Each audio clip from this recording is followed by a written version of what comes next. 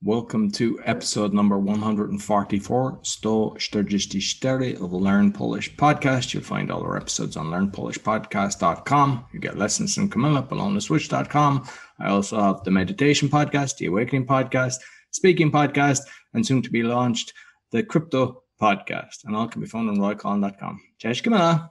Cześć Ro! Jak się czujesz? Jak się masz dzisiaj? Bardzo dobrze, dziękuję. Jaki Piękna dzisiaj... pogoda.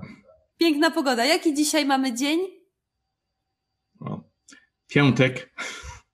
Piątek. To jest początek ty- weekendu, tak? Beginning of the weekend. Piątek. Fajnie, mamy piękną pogodę, dużo słońca. Jakie masz plany na weekend? Jedziesz nad jezioro? Nie, dzisiaj ja będzie do park na linię dla mój syn, bo on A, czy jadę do parku linowego, tak? Linowego. Tak. Fajnie, świetnie, no to super. Jesteś gotowy na lekcję? Jestem. Dobrze, dzisiaj będziemy wyrażać nadzieję. We will express hope. Tak, wyrażanie nadziei w języku polskim. Czy masz tablicę dla naszych studentów? Witamy No. wszystkich serde- serdecznie, wszystkich studentów na dzisiejszej lekcji. Mamy nadzieję, że dzisiejsza lekcja będzie dla Was bardzo ciekawa. Zobaczcie, wyrażanie nadziei, expressing hope.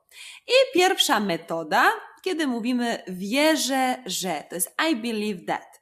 Wierzę, że wszystko będzie w porządku. Wierzę, że będę zdrowa. Roy, proszę powtórzyć. like, I believe everything will be okay. I believe uh, I'll be healthy. I twój przykład. Wierzę, że Wierzę, że kiedy chcesz, e, ben, kiedy chcesz pozytywna, musisz myśleć pozytywna. I believe that, tak? If you think positive, you will be positive. wierzę, że jeśli myślimy pozytywnie, to jesteśmy pozytywni, tak? Dokładnie. Dobrze. Druga metoda. Ufam, że. Co to znaczy, Roy? Ufam, że. Trust, I trust. I trust that, tak. Ufam, że i podaj jakiś przykład. Ufam, że um, what's government? Rząd. Rząd Ufam, że rząd. zawsze kłamiesz. A to lepiej będzie wierzę, że, tak? Dobrze. Ufać to jest jak trust, tak? Może ufam, że coś innego, jakiś inny przykład, może niepolityczny. ufam, że mój syn znajdzie dobrą pracę, tak? Co jeszcze? Masz jakieś pomysły dzisiaj, czy tak jest gorąco, że twoja głowa nie działa i nie masz żadnych pomysłów? O. Do, dokładnie. Ufam, że nauczę się polskiego w końcu, tak? dokładnie. Mam nadzieję, że. I hope that. Mam nadzieję, że. I to chyba jest łatwe, bardzo klasyczne, bardzo popularne, więc na pewno nie będziesz miał z tym problemów. Proszę, Roy. Mam nadzieję, że. Mam nadzieję, że nie będzie więcej lockdown. Że już nie będzie zamknięcia, tak. Fajnie. Mam nadzieję, że pojadę na wakacje. Mam nadzieję, że będę miał urlop, tak? Mam nadzieję, że pogoda będzie zawsze piękna. Tutaj mamy różne e, możliwości. Następna metoda mówienia to jest w tej kwestii jestem optymistą. I to mówi mężczyzna. Optymistą to jest forma dla mężczyzny. Optymistką jest to forma dla kobiety. Czyli ja mówię w tej kwestii jestem optymistką, a ty mówisz Optymista. optymistą. Tak, w tej kwestii jestem optymistą. No i na przykład rozmawiasz z kimś, na przykład, tak jak ty powiedziałeś, o koronawirusie i mówisz, że w tej kwestii jestem optymistą i wierzę, że już nie będzie lockdownu, tak? Mhm. Tak, no właśnie. Wszystko się uda. Bardzo popularna fraza w Polsce. Uda się, nie uda się, uda się, nie uda się. Dzieci często mówią, nie uda się. Um, what's that in English? E, Wszystko się uda, to znaczy, że everything will be okay, will be good, tak? Okej. Wszystko się uda. Wszystko będzie zrobione dobrze. Czy na przykład musisz. Na zrobić- przykład, kiedy osoba upada na samochód i jeden z wygląda smutny, może mówi, wszystko się uda. nie, akurat te, tego. Every week I've got Nie, nie, nie. the world's worst example. Nie, wszystko się uda. To znaczy, że masz coś do zrobienia. Masz jakąś listę rzeczy. Musisz iść do urzędu, iść do banku, musisz yy, iść do mechanika, no dużo rzeczy do zrobienia masz. I mówisz, jej, mam mało czasu, nie uda mi się tego wszystkiego zrobić. A ktoś mówi, uda się, uda się, wszystko zrobisz, tak?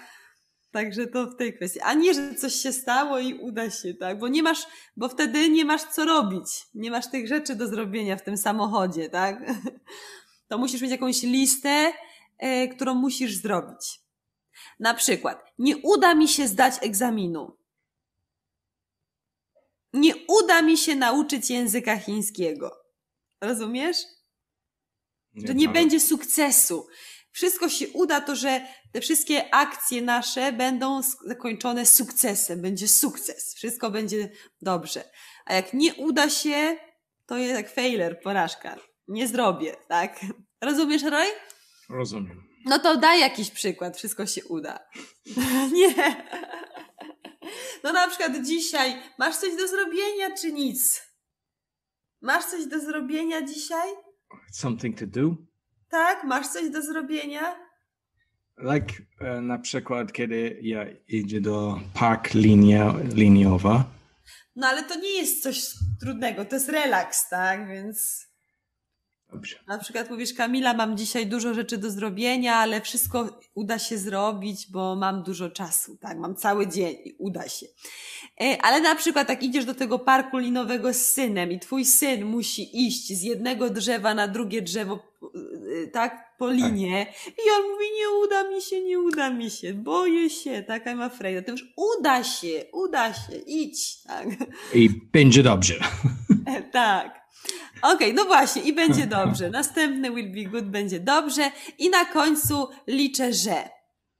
Liczę, że będzie dobrze, liczę, że wszystko się uda, liczę, że jutro będzie ładna pogoda. And translation liczyć, because I know będzie dobrze means it will be okay, but liczyć się? What's, what? No bo liczyć to jest to count, tak?